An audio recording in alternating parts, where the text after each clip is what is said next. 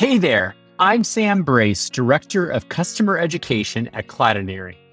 Welcome to Cloudinary's new console experience. The new navigation introduces a separation between Cloudinary's two products, programmable media and digital asset management. We have improved the user interface to provide a better experience for you while still having all the same product functionality. First, much of the navigation has moved from the top bar to the left side of your screen. There are two menus a primary menu with console options, and then a product navigation menu, which is collapsible. In the primary menu, you will find the product selector, currently showing the previously mentioned products. With it, you can switch between them and work with the one that answers your needs.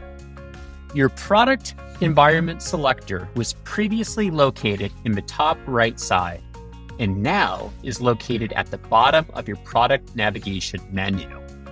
Different environments may represent staging or production, different websites or corporate divisions, as examples. These product environments were also previously known as subaccounts. From the console options menu, you can reach the add-ons to review and sign up for any of our available options, add a new user to your account with the appropriate role and associated permissions, get help from a variety of Cloudinary resources, jump to your console's settings, access a new avatar menu where you can see your user details, or log out of the console. The console's settings are the same as they previously were in many ways. The only differences are the division of settings into account level settings and product environment specific settings, as well as a new My Profile page, which includes your personal details and the ability to change passwords or display languages.